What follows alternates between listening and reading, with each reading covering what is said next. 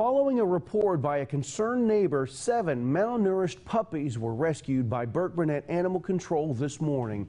They were at what's called North Texas Animal Rescue, a residence in, on Carolyn Lane there in Burk.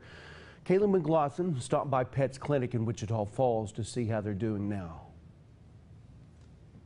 The 13 week old pups were left with no food and water, and it was reported that the puppies were seen eating sheetrock for food. They were found at a rescue in Burkburnett. No guarantee that they're going to survive.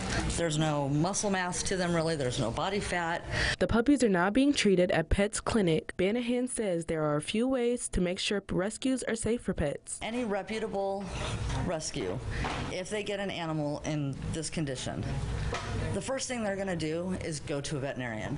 Um, they're also going to be working with their animal control, and so animal control is going to know what's going on there. Um, and there's going to be a medical trail trying to not, trying to get these guys better. Kaylin McLaughlin, KFDX 3 News. Several of the workers from Pets came in on their day off to care for those puppies. They will be treated there until they're in more stable condition.